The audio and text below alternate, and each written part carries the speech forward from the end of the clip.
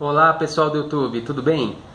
Bem-vindo ao canal Consumidores de CO2 e o vídeo de hoje vai dar sequência aí no primeiro vídeo né, que nós já fizemos que é a plantação das sementes bonitas e as sementes feias tá? que foi classificada aí por, pela minha filha, tá bom? Brilhantemente então nós vamos dando sequência aí ficou bem, um vídeo bem legal esse primeiro vídeo e agora vou tô fazendo agora o segundo vídeo mostrando o resultado dessas plantas, né? A gente vai ver aí o quanto cresceu, o que cresceu, tá bom? E a gente vai mostrar agora agora na sequência e vamos para o que importa. Roda a vinheta.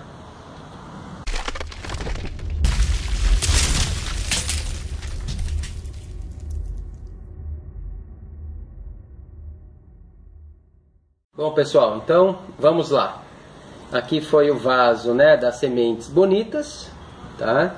Estão identificadas, né, que a gente identificou lá naquela época. Já está fazendo três meses, três meses e alguns dias, né?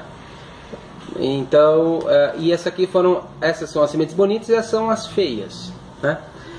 Uh, nós not, eu notei eu contei a, no primeiro vídeo, dá para contar um, mais ou menos quantas sementes foram plantadas. Né? Então, nas bonitas foram plantadas em torno de 40 sementes e das feia, feias em torno de 50 sementes.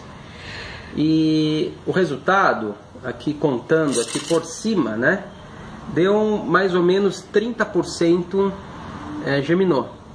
Germinou e cresceu aqui as plantinhas aqui, ó tá? Ah, elas foram regadas é, diariamente, né, pela manhã, regava isso sempre pela manhã. Alguns dias eu não reguei, tá? Foram religiosos todos os dias que eu reguei, mas procurei tratar delas aí bonitinho, né, para ter um crescimento legal. As sementes feias foram discriminadas mesmo, tá? então assim, ó, notem que até o vaso é menor, tá? Então, então já houve aí uma, um prejuízo para elas aí, tá? E aqui é, cresceram acho que 11, 11, 11 plantinhas. Não, perdão, aqui, aqui cresceu 11, foram 11 e aqui foram 6, né? 3, 4, 5, 6, isso mesmo, foram 6 aqui e 11 aqui. Então, 6, se plantou 50, 6 dá aproximadamente 10, um pouco mais de 10%, né?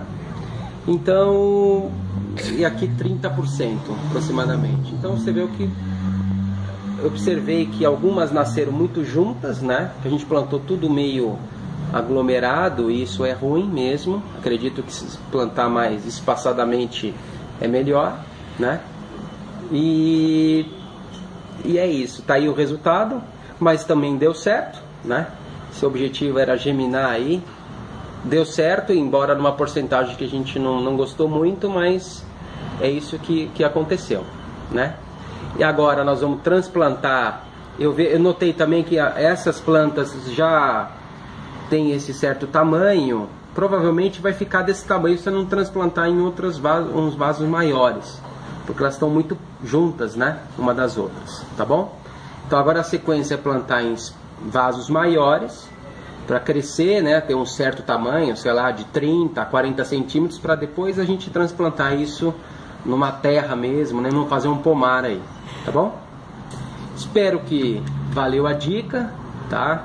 A gente tentou mostrar da forma mais é, transparente possível, né? Caiu a identificação aqui das feias, que pena, né? Até nisso, a, até nisso as feias deram errado, né? E ó, pode notar também aqui, ó, chegou bem pertinho aqui, dá pra vocês verem, tá vendo, ó? Tem, tem é, plantinhas que ficaram uma bem próxima da outra, tá vendo, ó?